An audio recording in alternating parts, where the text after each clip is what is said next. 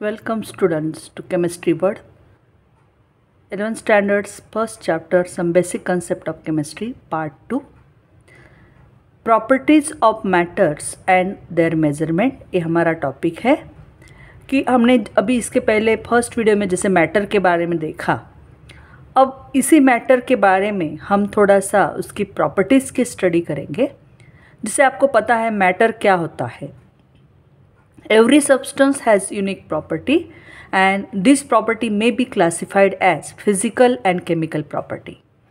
अगर किसी भी सब्सटेंस की अपनी खुद का एक पहचान चाहिए तो उसके लिए उसकी एक खास एक यूनिक प्रॉपर्टी होती है। और उस प्रॉपर्टी से ही उस सब्सटेंस को पहचाना जाता है। तो अब इस प्रॉपर्टी का भी क्लासिफिकेशन दो तरह से किया गया, एक फ़िज़िकल बेस पे और दूसरा केमिकल बेस पे। क्या डिफरेंस है इन दोनों प्रॉपर्टी में? फ़िज़िकल प्रॉपर्टीज़ क्या होती है, केमिकल प्रॉपर्टीज़ क्या होती है? तो फ़िज़िकल प्रॉपर्टी ऐसी प्रॉपर्टी है विच कैन बी मेज़र और observe without changing the composition of a substance अगर किसी सब्सटेंट का मुझे फ़िज़िकल प्रॉपर्टी स्टडी करना है तो मैं उसका कॉम्पोजिशन चेंज किए बिना ही without disturbing its composition I can study its that physical property अगर मैं सिंपल एक एग्ज़ाम्पल दूँ तो अगर मेरे हाथ में अभी यहाँ पे एक पेन है, जिसके दो कलर यहाँ पे आपको दिख रहे हैं, red and black. Colour a property इसकी मुझे स्टडी करनी है। तो नेचुरली मैं इसका सिंपली ऑब्जर्वेशन करूँगी और ऑब्जर्वेशन से ही मुझे पता चलेगा कि इसका कलर जो है that is the red means I have not to be change its compositions. I directly study its property so physical properties are those properties which can be measured or observed without changing the composition of that particular substance. बहुत सारी physical property है, जैसे order है smell बोल सकते हैं। किसी particular सब्सटेंट का हम देखते हैं लैब में बहुत सारे। जैसे एस टू एस है, उसका एक पर्टिकुलर स्मेल है, उससे उसकी पहचान होती है। ऐसे बहुत सारे केमिकल्स है अमोनिया है। जिस स्मेल से हमें पता चल जाता है कि ये पर्टिकुलर ए सब्सटेंट है तो अगर आप उस का स्मेल के लिए हमें कोई कॉम्पोजिशन चेंज नहीं करना पड़ता, वो जैसा है वैसा ही सिर्फ़ उसका स्मेल से ही पता चल जाता है। तो ये फ़िज़िकल प्रॉपर्टी होती है, जैसे मेल्टिंग पॉइंट है बॉइलिंग पॉइंट है, आपने एलेवन स्टैंडर्ड में ये प्रैक्टिकल करेंगे आप पार्ट टू में, जिसमें आप किसी पर्टिकुलर सब्सटेंट का मेल्टिंग पॉइंट अगर आपको स्टडी करना होता है तो उसको एक पर्टिकुलर टेम्परेचर के जब तक वो मेल्ट ना हो जाए, तब तक उसको हीट किया जाता है।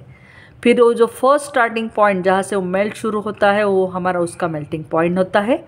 लेकिन आफ्टर सब cooling that substance again it cool down and original उसका आ जा जाता है। मीन्स उसका केमिकल कॉम्पोजिशन चेंज करने की ज़रूरत नहीं पड़ी, हमें सिर्फ़ स्टेट उसका चेंज किया हमने राइट मीन्स उसको हीट किया और उसका मेल्टिंग पॉइंट या फिर अगर लिक्विड है तो उसका बॉइलिंग पॉइंट हमने स्टडी किया।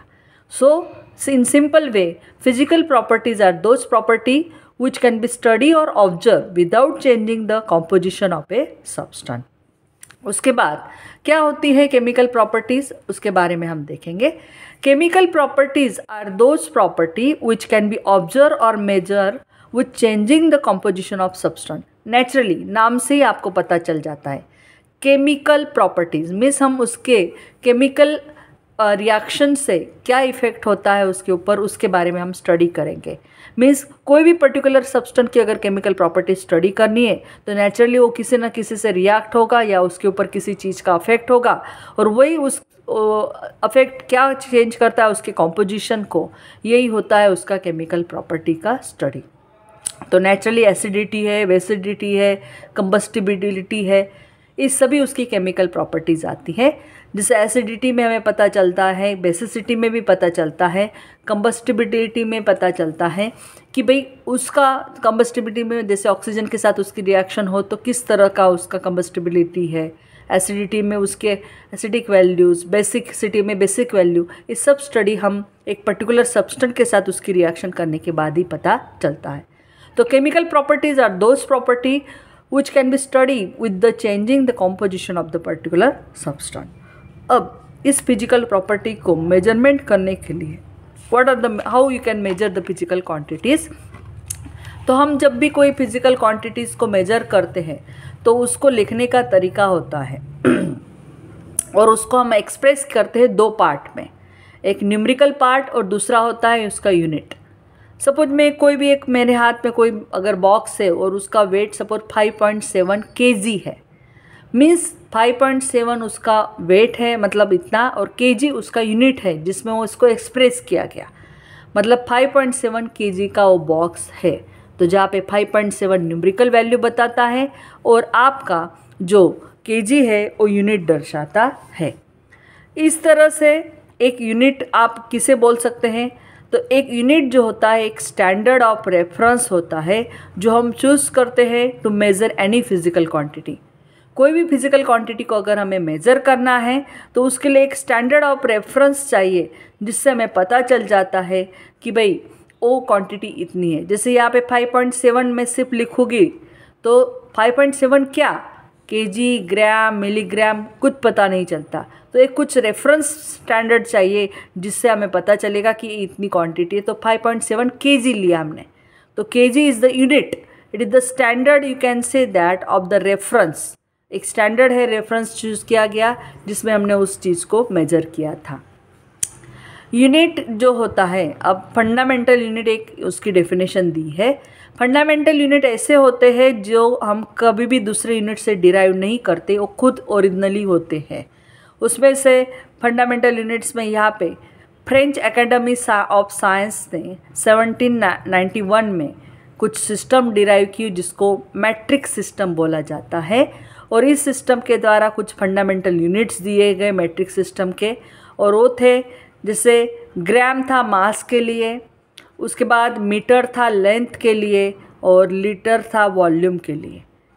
A French academy of science ना 1791 उन्होंने खास मैट्रिक सिस्टम इंट्रोड्यूस किया।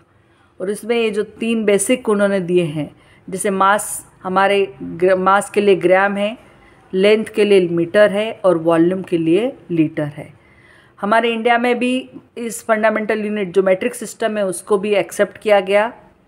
और उसमें से सेवन बेसिक यूनिट है एसआई सिस्टम के, जो हम यहाँ पे लिस्ट कर रहे हैं।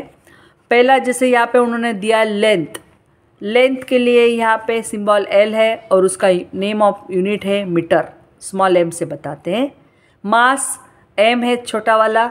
उसका नेम ऑफ़ यूनिट है किलोग्राम, जिसको केजी से बताया जाता है। टाइम के लिए छोटा टी स्मॉल। सेकंड, उसका यूनिट, नेम ऑफ़ यूनिट है स्मॉल एस थर्मोडाइनमिक टेम्परेचर के लिए कैपिटल टी उसका सिंबल मेजर किया जाता है केल्विन के।